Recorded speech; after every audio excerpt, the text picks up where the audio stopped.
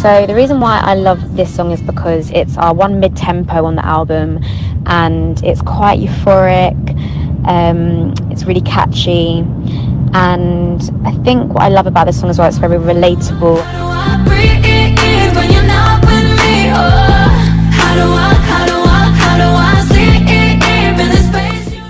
Feel like a lot of girls um, go through that sort of feeling of feeling like they genuinely can't breathe without somebody, and I think it's really real, and we've all been there.